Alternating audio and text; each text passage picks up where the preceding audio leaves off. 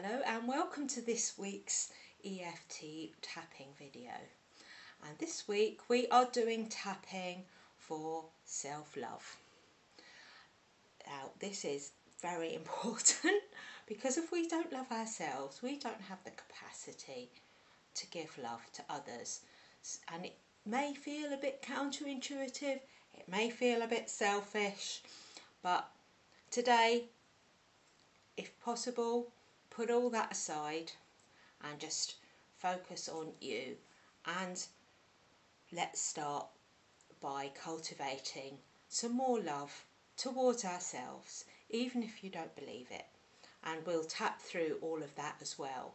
Because that's the good thing about EFT that it's not just about um, the say in the positive stuff we can say the negative stuff as well because what happens, it then releases emotional blockages in in the body. And this is all backed up by science. There's information out there. Dr Peta Stapleton has done a little research on this. And if you're new to tapping then if you check in the description below this video there is a link to where I go through all the tapping points. But all you have to do really is just follow along and repeat after me and replace anything I say with your own words if that feels more true for you. And if you're if this is your first time here, please subscribe and follow and do all the things you need to do.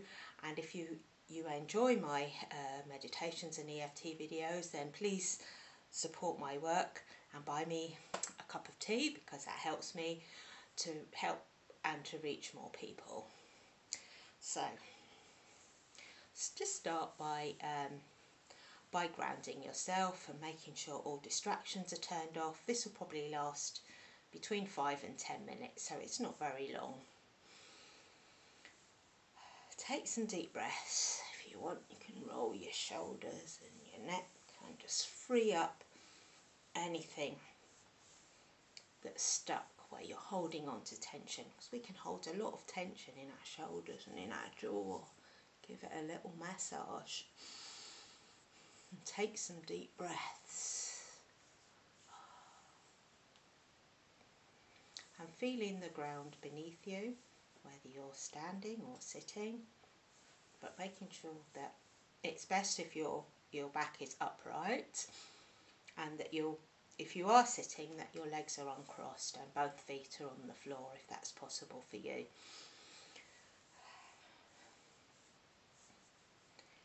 And then close your eyes. Just check in and see how much love are you feeling to, for yourself today.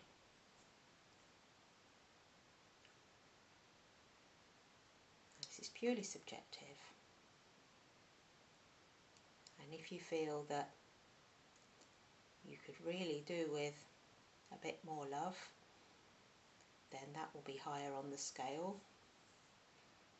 And if you feel like, oh, you completely love yourself, there's no parts of you that you dislike, then that will be a zero. So on a scale from zero to 10. And this is just to help you see whether anything has shifted after we've done the tapping. And uh, a disclaimer, this is not meant to be a substitute for psychotherapy or any medical advice. It can help you um, make, regulate your emotions, but if you if you're experiencing trauma or you know mental health issues, then please also go and see a professional. So when you're ready, start by tapping on the side of the hand. It doesn't matter which side you do it on with three fingers. And even in the setup statements, we start by acknowledging that we love ourselves. Even if you don't believe it, just say it anyway. So repeat after me or replace with your own words as you as feels appropriate for you. Even though I often put myself last and forget to love myself. deep down, I know I do deeply and completely love and accept myself.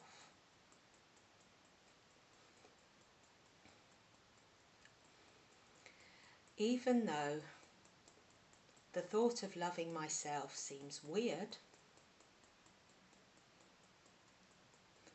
I'm going to let that go for now and choose to deeply and completely love and accept myself.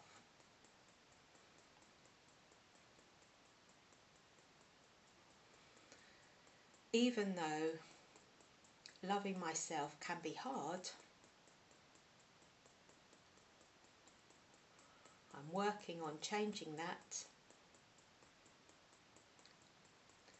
and for now I choose to deeply and completely love and accept myself.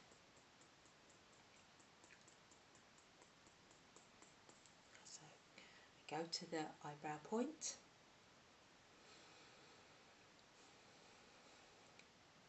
It feels selfish to love myself.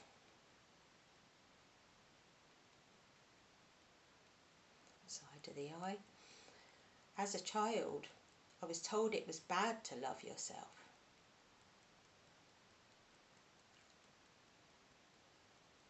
Under the eye, that I should put myself last all the time.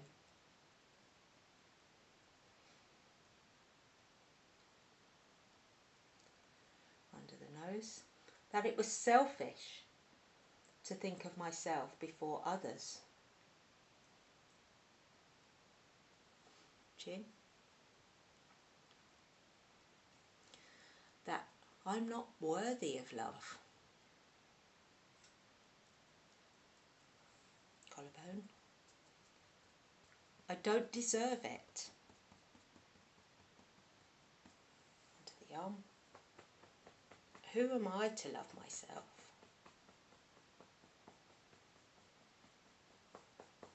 Top of the head. I really don't know how I can ever love myself.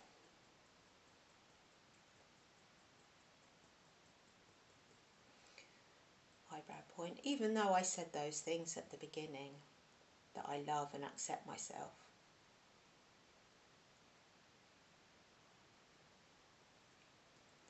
Side of the eye.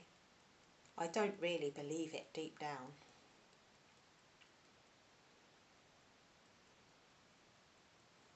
Under the eye. In fact, I often despise myself.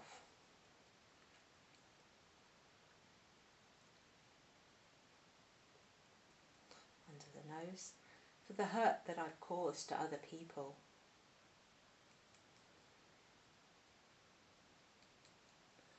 Chin, and all the mistakes that I've made in my life.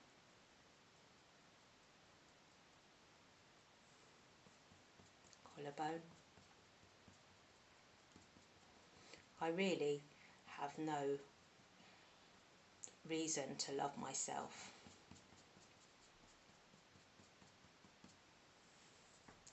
Under the arm, there's nothing really about me to love. Top of the head, I'm not lovable at all.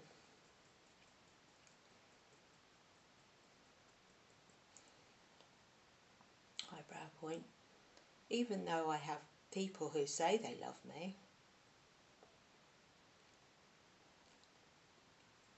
Side of the eye, I don't think they really mean it. Under the eye, I mean, how could they love me after everything I've done?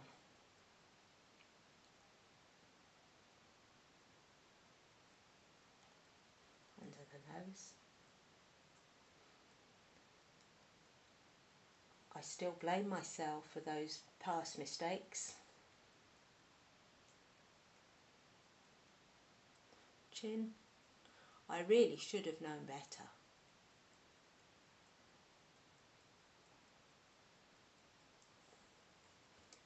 Collarbone, So how on earth can I love myself with all that hanging over me?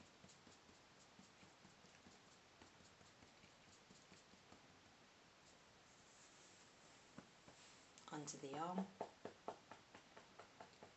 I'm right not to love myself. Top of the head. There is nothing about me that is worth loving at all.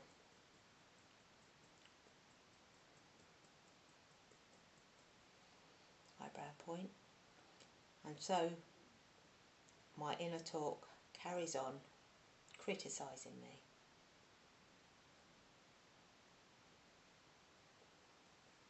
Side of the eye, judging me. Under the under the eye. But is that really a good way to talk to myself? Under the nose. Would I talk to a friend like that?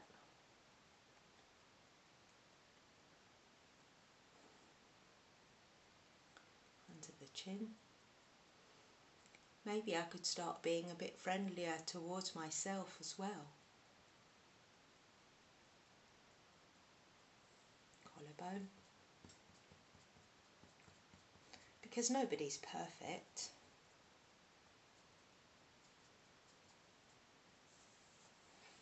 Under the arm. I don't expect my friends to be perfect and I still love them.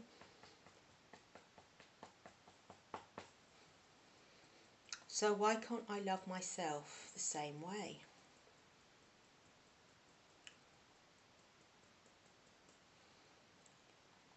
eyebrow point. Yes, I've made mistakes and I've hurt people.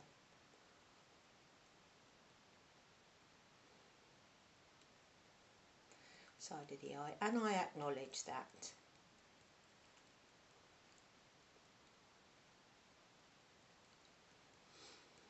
Under the eyes, but hopefully I've learned from my mistakes.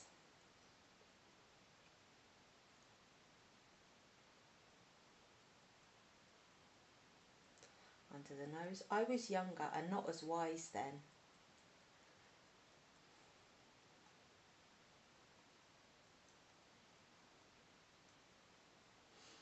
Under the chin. So loving myself also means having compassion for myself.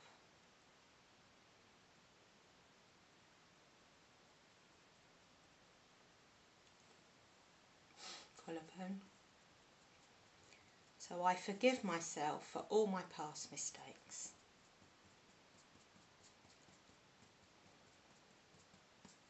Under the arm.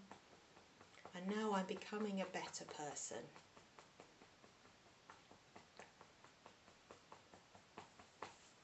Top of the head. So for that reason alone, I'm worthy of love.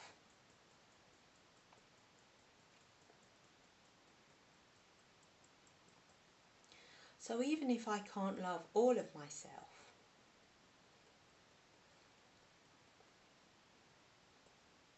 side of the eye, if that feels a bit too difficult right now,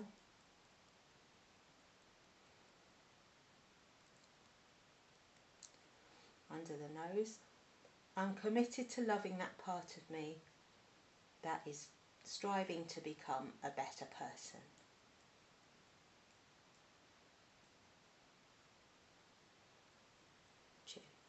That part of me that wants to be kinder and more loving.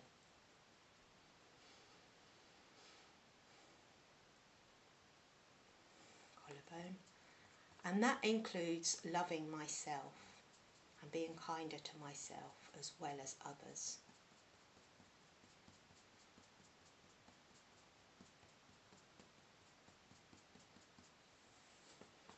So if loving myself completely feels a bit overwhelming.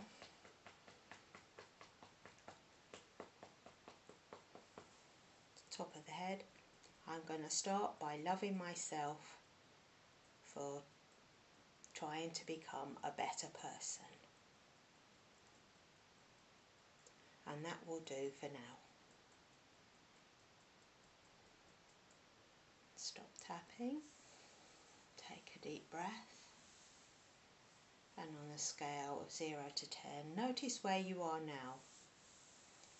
Where 0 is that you completely love yourself, there's nothing getting in the way of feeling love and kindness toward yourself. And 10 is like there's nothing that you can find lovable. And hopefully that's gone down a little bit. You can always come back and do this again. You might have felt emotions coming up, I certainly did. And, and that's normal and it's good when that happens because it shows that they're shifting. And if you cry even better. It's all being released all that stuff that's stuck inside and that's getting in the way of you loving yourself. And as you tap on one area you might notice as well that the, the other things start to shift in your life and you notice positive changes there too. And of course you can always come back and do and do this again. So thank you for joining me today and I will be back very soon. But in the meantime, take care of yourself and go well and lots of love.